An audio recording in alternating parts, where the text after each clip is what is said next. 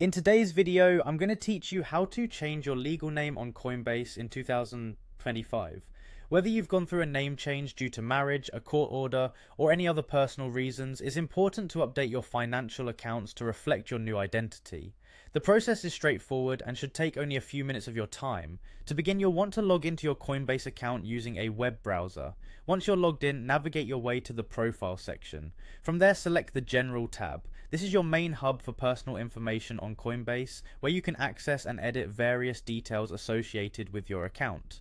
Once you're in the general section, the next step is to locate the personal info section. Here you will see an option labelled legal name. Click on this option and select the edit button. This will allow you to make the necessary changes to your legal name.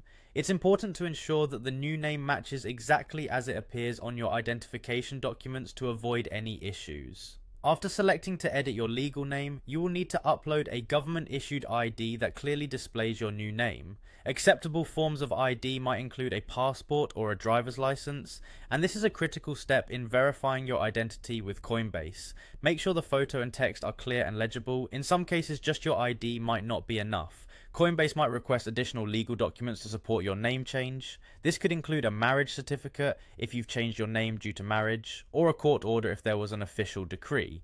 Again, make sure these documents are clear and all information is easy to read. Once you've uploaded all the necessary documents, submit them for review. Coinbase will then take some time to review your submission and make sure everything is in order. While the exact review time can vary, it typically won't take more than a few days. Be patient during this process as Coinbase ensures your details are correct and secured.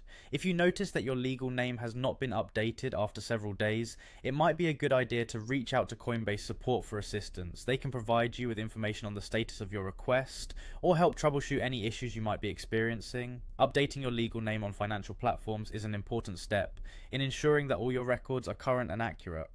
Following these steps will help you seamlessly make this change on Coinbase without much hassle. Thanks for watching, and if you have any questions, feel free to leave them in the comments below.